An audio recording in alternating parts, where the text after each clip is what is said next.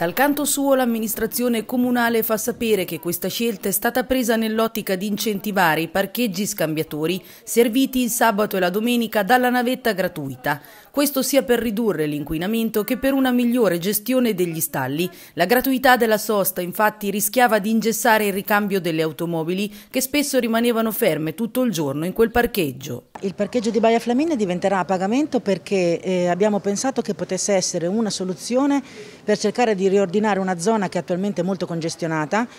e che potesse servire a garantire la rotazione per tutti gli utenti, quindi eh, un parcheggio che deve essere al servizio non solo delle persone che vanno al mare ma anche delle persone che si recano alla Baia Flaminia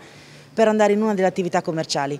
Chiaramente come abbiamo detto più volte eh, non è un sistema per far cassa, perché contestualmente al pagamento eh, del parcheggio ci sarà negli stessi medesimi orari una navetta gratuita per tutti che partirà dai due porti e, passerà ogni 15 minuti, quindi è un servizio molto vicino ai cittadini, facile da usare, facile da prendere e che può coniugare un po' tutte le esigenze.